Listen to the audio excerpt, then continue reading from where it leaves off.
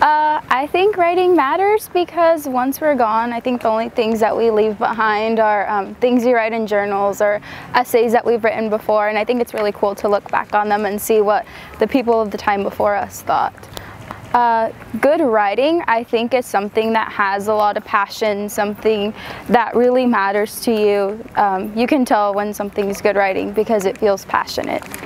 I think to improve my own writing, again, going back to the whole passionate thing, um, trying to get across my passion and, and include lots of different views on what I'm writing about is important. I think employers should care about writing skills because it really shows a lot about how that person presents themselves and I think that's very important, especially in jobs. I think in order to write well in 140 characters, you have to be very clear about your point and um, include many, as many views as possible and again be passionate about what you're writing about.